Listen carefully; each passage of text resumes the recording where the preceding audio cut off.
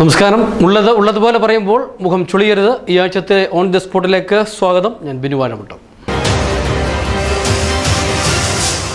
പത്തനംതിട്ട നഗരത്തിൽ പുതിയ ഒരു പദ്ധതി കൂടി വരുന്നു. കേട്ടപ്പോൾ പലർക്കും സന്തോഷമൊന്നും അത്ര തോന്നിയില്ല. കാരണം എത്രയോ പദ്ധതികൾ പത്തനംതിട്ടയെ പ്രഖ്യാപിച്ചിരിക്കുന്നു. എന്തായാലും നഗരസഭാ ചെയർപേഴ്സന്റെ ഒരു സ്വപ്ന പദ്ധതിയാണ് പോലും നാലു മണിക്കാറ്റ് പദ്ധതി. നല്ല പദ്ധതി തന്നെയാണ്. കാരണം പത്തനംതിട്ടയുടെ തൊട്ടടുത്ത് കിടക്കുന്ന കോട്ടയത്തേക്ക് പോയാൽ കറുകച്ചാൽ വഴി ഏറ്റുമാനൂരേക്ക് പോകുമ്പോൾ ആ വഴിയരികിലുണ്ട് ഈ നാലു മണിക്കാറ്റ്. ഈ രണ്ട് വശത്തും പാടശേഖരങ്ങൾക്ക് സമീപത്തു കൂടി പോകുന്ന റോഡിന്റെ ഇരുവശത്തുമാണ് നാലു മണിക്കാറ്റ്. നിരവധി പേർ അവിടെ എത്തുന്നുണ്ട്. കൂടാതെ ചങ്ങനാശ്ശേരി ബൈപ്പാസിലുമുണ്ട്. മറ്റു പല സ്ഥലങ്ങളിലും ഇത്തരം നാലു മണിക്കാറ്റ് മാതൃക ഉണ്ടാക്കി വെച്ച് ജനത്തിന് പ്രയോജനപ്പെട്ടിട്ടുണ്ട് പക്ഷെങ്കിൽ പത്തനംതിട്ടയിലെ ചെയർപേഴ്സൺ ഇത് കണ്ടപ്പോൾ ആകെ തകർന്നുപോയി എന്തുകൊണ്ട് പത്തനംതിട്ട നമുക്ക് ആയിക്കൂടാ? അതുകൊണ്ടാണ് പത്തനംതിട്ടയിൽ ഉടൻ തന്നെ നാലു മണിക്കാറ്റ് പദ്ധതി നടപ്പിലാക്കുമെന്ന് ചെയർപേഴ്സൺ പ്രഖ്യാപിച്ചത്. നടപ്പിലാക്കുന്ന സ്ഥലമാണ് ബഹുകേമം സംഭവം അവിടെ നിൽക്കട്ടെ. ഈ നാലു മണിക്കാറ്റ് എന്നതുകൊണ്ട് ഉദ്ദേശിക്കുന്നത് വൈകുന്നേരങ്ങളിൽ പത്തനംതിട്ടയിലെ ജനങ്ങൾക്ക് വിശ്രമിക്കാനുള്ള ഇടം. അതും മലയാള മനോരമ പത്രം ഓഫീസിന് സമീപത്തുള്ള തോടിന്റെ കര. പ്രത്യേകിച്ച് നഗരസഭയുടെ പിൻഭാഗം. പത്തനംതിട്ട നഗരത്തിലേക്ക് കാലുകുത്തുന്ന ഏതൊരു മനുഷ്യനും ശപിച്ചു പോകുന്ന ഒരു സ്ഥലമാണ്. കാരണം മൂക്കുപത്താതെ ഈ ഭാഗത്തുകൂടി കടന്നു പോകാൻ കഴിയില്ല. അത്തരം ഒരു സ്ഥലത്താണ് നാലു മണിക്കാറ്റ് പദ്ധതിയുമായി നമ്മുടെ പത്തനംതിട്ട ചെയർപേഴ്സൺ രംഗത്ത് വരുന്നത്. എല്ലാവിധ പിന്തുണയും ജനങ്ങളുടെ ഉണ്ടാകണമെന്ന് ചെയർപേഴ്സൺ ആഗ്രഹിക്കുന്നുണ്ട്. പക്ഷെങ്കിൽ ഒരു കാര്യം മുൻകൂട്ടി പറയട്ടെ. ഈ നാലു മണിക്കാറ്റിൽ കാറ്റ് കൊള്ളാൻ വരുന്നവർ ആദ്യം ഒരു മാസ്ക് ധരിക്കണം. ഇല്ല എങ്കിൽ നിങ്ങൾ തിരികെ വീട്ടിലെത്തുമോ എന്നുള്ള കാര്യത്തിൽ സംശയമുണ്ട്. നാലു മണിക്കാറ്റ് പോയിട്ട് പത്തനംതിട്ട നഗരത്തിന്റെ സമീപപ്രദേശത്ത് താമസിക്കുന്ന വീട്ടുകാർക്കും അല്ലെങ്കിൽ വ്യാപാര സ്ഥാപന ഉടമകൾക്കും എന്തിനേറെ പറയുന്നു? നഗരസഭയിൽ ജോലി ചെയ്യുന്ന ജീവനക്കാർ പോലും മിക്ക സമയത്തും മാസ്ക് വെച്ചാണ് ജോലി ചെയ്യുന്നത്. അത്തരം ഒരു അനുഭവം ഉള്ള സ്ഥലത്താണ് നാലു മണിക്കാറ്റ് പദ്ധതിയുമായി രംഗത്ത് വരുന്നത്. ആർക്കു വേണ്ടിയാണ് ഈ പദ്ധതി. എന്തിനു വേണ്ടിയാണ് ഈ പദ്ധതി എന്ന് ആദ്യം നിങ്ങൾ പഠിക്കണമായിരുന്നു. എന്താണ് താൻ ചെയ്യുന്നത് എന്ന് ആദ്യം ഒന്ന് ചിന്തിക്കുക. അതിനുശേഷം അത് പത്തനംതിട്ടയിൽ എവിടെയാണ് വേണ്ടതും എന്ന് ചിന്തിക്കുക. പത്തനംതിട്ടയിലെ അറവുശാലയ്ക്ക് സമീപവും മാലിന്യങ്ങൾ കത്തിക്കുന്ന കമ്പോസ്റ്റ് ഉണ്ടാക്കുന്ന സ്ഥലത്തിന്റെ എതിർവശത്താണ് നമ്മുടെ നാലുമണിക്കാറ്റ് പദ്ധതി. എങ്ങനെ ഇരിക്കും പദ്ധതി? നാട്ടുകാർ വിലയിരുത്തട്ടെ. ഓപ്പോസിറ്റുള്ള മനോരമയും അതിന്റെ എതിർ സൈഡുള്ള ഭവൻ സ്കൂളും ഇതെല്ലാം അടങ്ങിയാണ് ഈ മുനിസിപ്പാലിറ്റി ഏരിയ അവിടെയാണ് ഈ വേസ്റ്റ് എന്ന് പറഞ്ഞ് കൊണ്ടിട്ട് ഇളക്കി മറിച്ച് മനുഷ്യന് നടക്കാൻ പറ്റാത്ത രീതിയിൽ ഈ മുനിസിപ്പാലിറ്റി കാണിക്കുന്ന അധികാരികൾ കാണിക്കുന്ന ഈ കൊടു ക്രൂരത. അതുപോലെ തന്നെ അവരുടെ വേസ്റ്റിന്റെ മണം കൊണ്ട് ജനങ്ങൾക്കും നടക്കാൻ പറ്റാത്ത എന്റെ കുട്ടി രണ്ടാം ക്ലാസ്സിൽ മേരിമേതലാണ് പഠിക്കുന്നത്. ആ കുട്ടിക്ക് വഴിയിലിറങ്ങി നടക്കാൻ പറ്റാത്ത അവസ്ഥ. നമ്പർ വൺ പത്ര പത്രമാണ് ഇവിടെ നടത്തുന്ന മനോരമ. അതിനൊക്കെ ഏറ്റവും വലിയ ഹോസ്പിറ്റലാണ് പത്തനംതിട്ട മുത്തൂറ്റ് ഹോസ്പിറ്റൽ അതുപോലെ കൊച്ചു പിള്ളേർ കൊച്ചു പിള്ളേർ എന്ന് പറഞ്ഞാൽ ഒരു പത്തായിരത്തി അഞ്ഞൂറ് പിള്ളേർ പഠിക്കുന്നുണ്ട്. മേരിമാല സ്കൂൾ.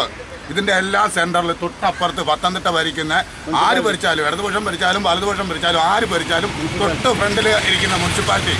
മുനിസിപ്പാലിറ്റിക്കകത്ത് കുടുംബശ്രീ ഉണ്ട് ആ ഒരു പത്ത് അറുന്നൂറ്റമ്പത് എണ്ണൂറ് ജോലിക്കാരുണ്ട് അതിനകത്ത്. എല്ലാം സർക്കാരിന്റെ ശമ്പളം പറ്റിയിരിക്കുന്നവരാണ് ഇവരെല്ലാം ശ്വസിക്കുന്ന ഇതാണ് ഹോസ്പിറ്റലുണ്ട് മനോരമ ഓഫീസുണ്ട് ഇതെല്ലാം ഇവിടെ ഉണ്ട് ഈ രാജ്യത്തൂടെ നടക്കാൻ പോലും ഒക്കെ ഇതുകൊണ്ട് പോകാനേ പറ്റും ഇടാൻ പോകാം അതാ നല്ലതായിരുന്നു ആ സ്മെല്ലും അടിച്ച് അവർക്ക് ഇവിടെ ഇരിക്കുകയും ചെയ്യാം.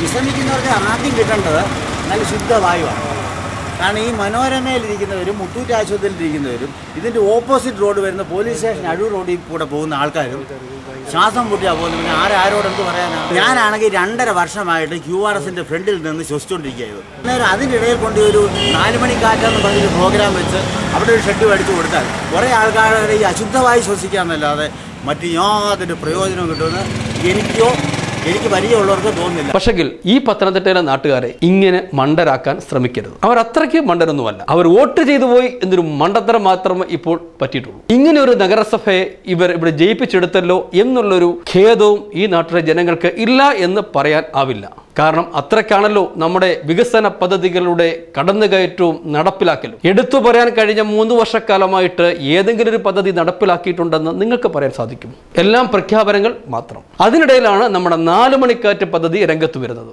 ഇടവേള ഇടവേളയ്ക്ക് ശേഷം തിരിച്ചു വരും. പച്ചപ്പുടവയണിഞ്ഞ പത്തനംതിട്ടയ്ക്ക് പുതുമയുടെ പൊൻതിളക്കവുമായി ജോയാലുക്കാസ് ലോകത്തിന്റെ പ്രിയ ജ്വല്ലറി ബ്രാൻഡ് ജോയാലുക്കാസ് ഇനി മുതൽ പത്തനംതിട്ടയിലും. വെഡിംഗ് ആഭരണങ്ങൾ designer trendy gold collection diamond collection fresh stone polki platinum collection തുടങ്ങി ആഭരണങ്ങളുടെ ഏറ്റവും പുതിയ കളക്ഷനുകൾ Joyalukkas world's favourite jeweller Pathanamthitta. Pathanamthitta നഗരം ഏറ്റവും നല്ല ശുദ്ധമായി കിട്ടുന്ന സ്ഥലമാണ് എന്നുള്ള ഒരു അഭിമാന ബോധം നമുക്കൊക്കെ ഉണ്ടായിരിക്കാം. പക്ഷെങ്കിൽ അതിന്റെ യാഥാർത്ഥ്യത്തിലേക്ക് ഞങ്ങൾ കടന്നു ചെന്നു. പത്തനംതിട്ട ജില്ലയിൽ മാത്രമാണ് ഇത് അളക്കുന്ന ഒരു ഉപകരണം സ്ഥാപിച്ചിട്ടുള്ളത്.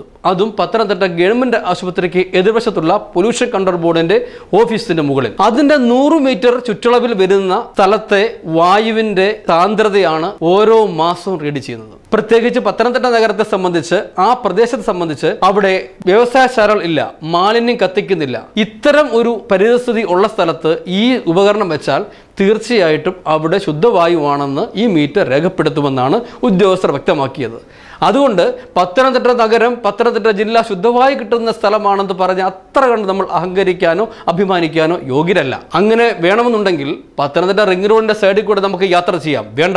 നഗരസഭ ഓഫീസിലിരിക്കാം. മിനി സിവിൽ സ്റ്റേഷനിലേക്ക് കടന്നു ചെല്ലാം. സെൻട്രൽ ജംഗ്ഷനിലേക്ക് കടന്നു ചെല്ലാം. ഇവിടെ എവിടെ ഇരുന്നാലും അറിയാം പത്തനംതിട്ട നഗരത്തിന്റെ ശുചിത്വ ബോധം. ഈ സ്ഥലത്താണ് നഗരസഭ ഇപ്പോൾ വളരെ മനോഹരമായ ഒരു നാല് മണിക്കാറ്റ് പദ്ധതി. നഗരത്തിലെ ജനങ്ങൾക്ക് ഉല്ലസിക്കാനും അല്പം സൊറ പറഞ്ഞ് ആസ്വദിക്കാനും ഒക്കെ ഒരു സ്ഥലം. തീർന്നില്ല. അവിടെ സ്നാക്ക് ബാറും ഉണ്ട് എന്നാണ്. സ്നാക്ക് ബാറിന്റെ ആവശ്യം ഇവിടെ ഉണ്ടാവണമെന്ന് തോന്നുന്നില്ല. കാരണം തൊട്ടടുത്ത് തന്നെ ബീവറേജിന്റെ ഔട്ട്ലെറ്റുകളുണ്ട്. അത് അവർക്ക് ഇരിക്കാനുള്ള ഇരിപ്പിടമായി മാറിക്കൊള്ളും. അത് മറ്റൊരു കഥ. എന്തായാലും നഗരസഭാ ചെയർപേഴ്സൺ ഉദ്ദേശിക്കുന്ന ഈ സ്ഥലത്ത് നാലു മണിക്കാറ്റ് അത്ര കണ്ട് വിജയം പ്രാപിക്കും എന്ന് ഒരു വിശ്വാസവും ഈ നാട്ടിലെ ജനങ്ങൾക്കില്ല. അങ്ങനെ ഉണ്ടാവണമെന്നുണ്ടെങ്കിൽ നിങ്ങൾ ആദ്യം ചെയ്യേണ്ടത് ഈ നഗരത്തിലെ ജനങ്ങൾ മൂക്കുപൊത്താതെ കഴിയത്തക്കവണ്ണം അവിടുത്തെ മാലിന്യങ്ങൾ നീക്കം ചെയ്യാൻ കഴിയണം. അറബിശാലയിലെ മാലിന്യം നീക്കം ചെയ്യണം. കോടതി ഇടപെട്ടു ജില്ലാ കളക്ടർ ഇടപെട്ടാണ് അതിന്റെ സ്റ്റോപ്പ് മെമ്മോ നൽകി. അത്രയ്ക്ക് ദുർഗന്ധപൂരിതമായ സ്ഥലമാണ് അവിടെ. നഗരസഭയുടെ പിൻഭാഗം. എന്തേ നിങ്ങൾക്ക് അവിടുത്തെ മാലിന്യം നീക്കം ചെയ്യാൻ ആർജവമില്ലാതെ പോകുന്നത്? എല്ലാ ദിവസവും രാവിലെയും വൈകിട്ടും പത്തനംതിട്ട നഗരസഭയിൽ എത്തുന്നവർ കണി കാണുന്നത് ഈ മാലിന്യങ്ങളാണ്. ഈ മാലിന്യ കൂമ്പാരമാണ്. അതൊന്നും മാന്തിയെടുക്കാൻ പോലും നിങ്ങൾക്ക് കഴിഞ്ഞിട്ടില്ല. ഈ നഗരത്തിന്റെ ഏത് വഴിയിൽ ചെന്നാലും ഈ മാലിന്യം കൊണ്ട് കുന്നുകൂടി കിടക്കുകയാണ്. വഴിയോരങ്ങളിലൂടെ മാലിന്യത്തെ ചവിട്ടി പോകാനും കഴിയില്ല. ഈ നഗരത്തിൽ താമസിക്കുന്നവർ മാലിന്യം എവിടെ കളയണം എന്ന് ചോദിച്ചാൽ അവർക്കും ഉത്തരമില്ല. ഒരു വേസ്റ്റ് മാനേജ്മെന്റ് കമ്പനി ഏൽപ്പിച്ചിട്ടുണ്ടത്രേ. അവർക്ക് പണം നൽകിയാൽ അവർ ഇത് കളക്ട് ചെയ്തിട്ട് പോകും. അവർ എങ്ങോട്ടേക്കാണ് ഇത് കൊണ്ടുപോകുന്നത്? അവർ എന്താണ് ചെയ്യുന്നതെന്ന് നിങ്ങൾക്ക് നന്നായിട്ട് അറിയാം അതാണല്ലോ ഈ നഗരത്തിലെ ഇത്ര സുഗന്ധപൂരിതമായി നിലനിർത്തുന്നത്. പക്ഷെങ്കിൽ നിങ്ങളൊന്ന് മനസ്സിലാക്കണം ഇത് പത്തനംതിട്ട ജില്ലാ ആസ്ഥാനമാണ്. ആ ജില്ലാ ആസ്ഥാനത്തിലേക്ക് കടന്നു വരുന്ന മറ്റൊരു നാട്ടിലുള്ള ജനങ്ങൾക്ക് ഈ നാടിനെ പറ്റിയുള്ള ചിത്രം എന്താണെന്ന് ഈ റിംഗ് റോഡിലൂടെ ബസ്സിൽ പോയാൽ വ്യക്തമായി മനസ്സിലാവും. മൂക്കുപത്താതെ അബാൻ ടവർ മുതൽ സെന്റ് പീറ്റേഴ്സ് ജംഗ്ഷൻ വരെ പോകാൻ കഴിയാത്ത അവസ്ഥയാണ്. അത് മാറ്റാൻ കഴിയാത്ത നിങ്ങളാണ് ഇപ്പോൾ നാലു മണിക്കാറ്റുമായി ഈ നാട്ടിലെ ജനത്തെ വിശ്രമ ജീവിതത്തിലേക്ക് നയിക്കാൻ വേണ്ടി സ്വാഗതം ചെയ്യുന്നത്. നടക്കാത്ത സ്വപ്നം എന്ന് പറയുന്നില്ല. നടക്കുമായിരിക്കാം. പക്ഷെങ്കിൽ അത് ആർക്കു വേണ്ടി നടത്തണം എന്നുള്ളത് ചിന്തിക്കണം. ജനങ്ങൾക്ക് വേണ്ടിയാണെന്നുണ്ടെങ്കിൽ ആദ്യം ചെയ്യേണ്ടത് ജനത്തിന് അടിസ്ഥാന സൗകര്യം ഉണ്ടാക്കി കൊടുക്കണം. ജനം അവിടേക്ക് കടന്നു വരാൻ കഴിയണം. മുനിസിപ്പൽ ഓഫീസിലേക്ക് ജനം കടന്നു വരാൻ കഴിയണം. മൂക്കുണ്ടായാൽ പോരാ ശ്വസിക്കാൻ കഴിയണം. ശ്വസിക്കുന്നത് ഗ്രഹിക്കാൻ കഴിയണം. ഉള്ളത് ഉള്ളതുപോലെ പറഞ്ഞുകൊണ്ട് ഈ ലക്കം ഓൺ ദി സ്പോട്ട് ഇവിടെ സമാപിക്കുന്നു. അടുത്ത ലക്കം പുതിയ കാഴ്ചകളും പുതിയ സംഭവങ്ങളുമായി വീണ്ടും വരാം.